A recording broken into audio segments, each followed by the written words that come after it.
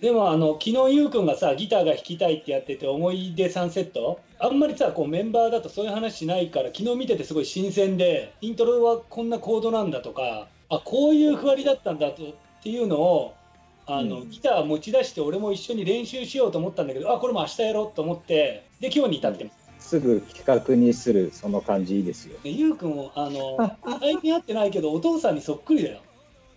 ゆうくんのお父さんにちょっと弾くんでいろいろちょっと聞きながら。アコギじゃないですか。でギターが弾きたいって俺どんぐらいだろう？1年2年ぐらいか。やるようになって、うん。でまあちょこちょこだけど弾くようになってゆうくんにも教えてもらいながらやっててまだ G7 を弾いたことないぐらいだったけど G7 ってこの1弦のい1押せば押さえればいいでしょ？これこれってことでしょ？ちょっとおしゃれな、普通の G よりちょっとおしゃおしゃれな。普通の G はこうか。そう。俺がイントロ弾くからそのおこの取った音を渡すからすぐうん。送るからそこ今にエレキで単音で乗っけてよ俺のに。俺のバックに。何かあったの？これ作る時。G7 じゃなきゃダメだった要素っていうか。な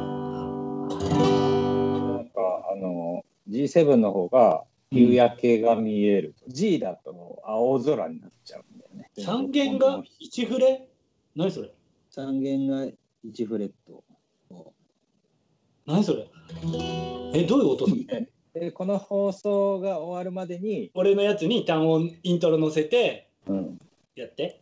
このピックが良くてね。第3のやつ。ナイさんのやつ。あの手乱の意で仮パクしたまんまもう使っちゃってんだけどすごい穴開いててこれ滑んないね。アコギに持ってこいですね。おいい。すごい弾きやすい。すごい緊張するねギター弾くて。歌歌うより緊張するわ。いいよ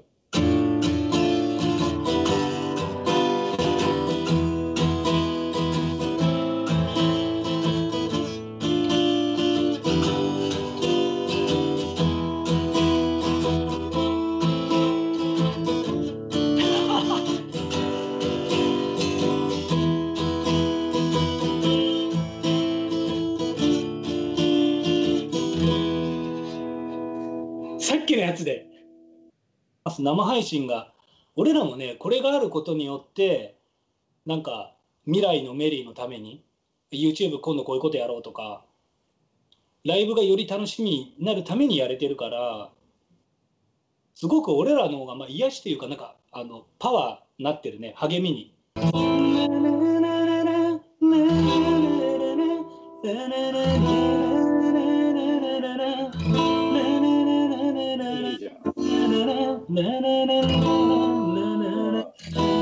けいけそうだね。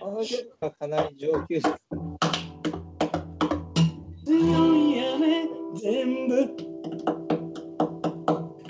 やいやいや、おかしいでしょ。とかなんかゆうくんのギターソロを俺が弾くみたいなこうこ急にギターソロ奪われるんだ。その道を極めたら、新しいジャンルを開拓できる。う、うん、